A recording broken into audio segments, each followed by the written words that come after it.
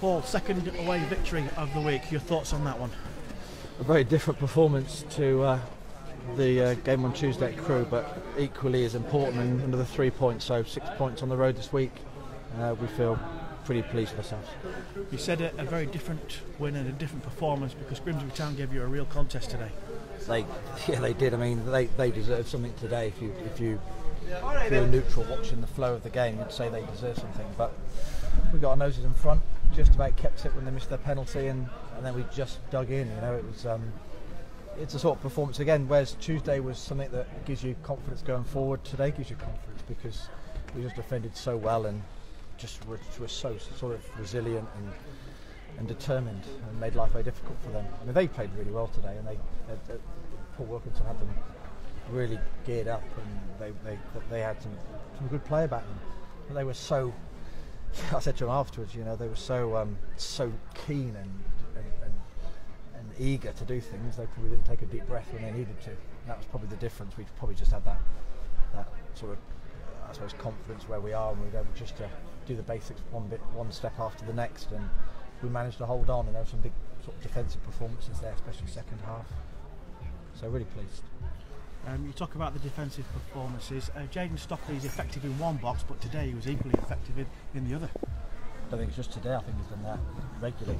Um, you know, I think we're, we're, we're job specific when it comes to set pieces, and he's got his job to do like all, like all the others have, and did it well today. Uh, the penalties you touched on, your view on, on both of them?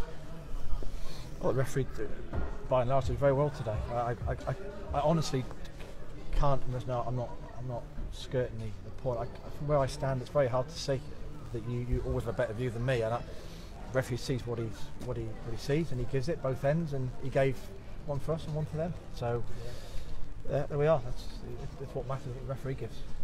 At this stage of the season, with the result and the performance, is that typical of, of, of this stage of the season? Sometimes you've got to win in a, in a, in a battling kind of way. It's all about the points.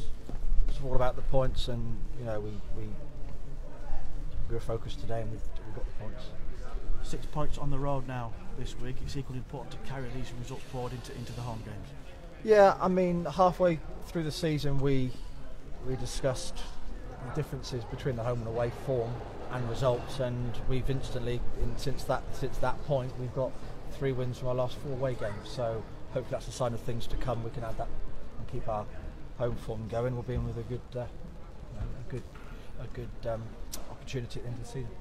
And finally, from me, you were backed again by another terrific following, just as you were on Tuesday night, just a word for those supporters. Yeah, I think, again, what I, mean, I saw on the um, on the, uh, the social media this morning how, how far the journey was um, to get here. I mean, we just sort of sit on our coach and, and sort of switch off. But for those people making that journey, it's a terrific journey to make. Um, so thank you to all of those and the guy that was stood there with that shirt on at the end. Thank you, thank you very much. And are you sure? Because it was cold today. We need to get him looked at. Um, the rest of them, thank you very much for coming, and uh, uh, please follow us again. Keep coming.